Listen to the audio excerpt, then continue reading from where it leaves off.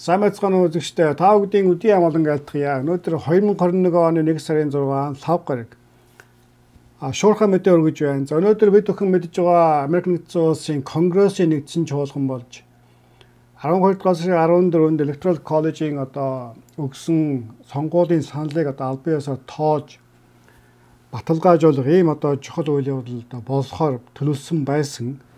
За өглөө бол төлөлгөө дагуу бүх зүйл нормын одоо ном ёсны дагуу чуулга ихэлсэн. За ингээд бид бүхний одоо таамаглаж байсанчлан одоо бүгд найрамдах намын зарим гишүүд одоо зарим мужийн саналыг одоо хүлээн зөвшөөрөхгүй гэдэг ийм эсрэг санал гаргасан учраас хоёр одоо танхим буюу дээд танхим доод танхим төлөөлөгчдийн танхим болон сенатын танхим одоо тусдаа хуралдаж санал хураахаар За ингээд чуулганууд тус тусдаа эхэлсэн байгаа. За гэсэн хэдий боловч яг энэ одоо чуулгантай зэрэгцээд өнөөдөр Вашингтон ДС хотод ерөнхийлөгч Дональд Трампыг одоо дэмжигч одоо хэд хэдэн байгууллагаас бүрдсэн хэдэн мянган хүн цугласан байгаа. За ингээд өнөөдөр өглөө 11 цагт ерөнхийлөгч Дональд Трамп өөрөө цагаан ордны өмнө гарч ирж эдгээр хүмүүсийг одоо торхирч үг хэлж а ингэж одоо тэмцэл одоо уриалсан байгаамаа.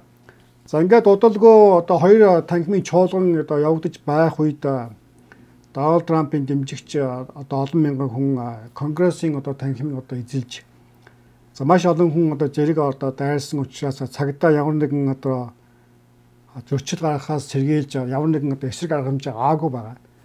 За ингээд эдгээр нөхдөөд үндсэндээ конгрессийн танхимыг одоо магадгүй миний мэдхээр одоо сүүлийн хэдэн жил магадгүй одоо Америк нэгдсэн улсад конгрессийн танхим байгуулснаас хойш ингэж одоо замраагүй байдал үүсч байгаагүй гэдэг ийм бас тайлбарыг өгсөн байнамаа. За энэ олон хүмүүс конгрессийн одоо хаалган дээр шаваарлцсан улмаар одоо конгрессийн дотор одоо явж орсон чөлөөтэй явж сэлгүүцэж байгаа ийм бичлэг гарч байна. За ингээд энэ хүү конгрессийн дахимд одоо гадны хүмүүс зөвшөөрөлгүй хүмүүс дайрж орсон учраас конгрессийн дахим хуралдаж байсан одоо гишүүдийг хамгаалтанд авсан. За ингээд улмаар цагдаагийн одоо хүч нэмэгдүүлсэн алба конгрессийн дахимд одоо ажиллаж байгаамаа. За олон хүн конгрессийн дахинд нэвтэрсэн учраас цагдаагийн одоо болон хүч хүчний байгууллагын зүгээс ямар ч одоо арга хэмжээ авахд бэлтгэлтэй байна.